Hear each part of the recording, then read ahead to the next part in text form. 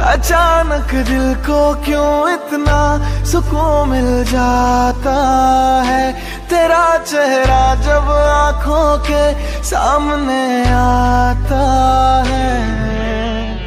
दिल ये तेरा होने को तैयार होता जा रहा है।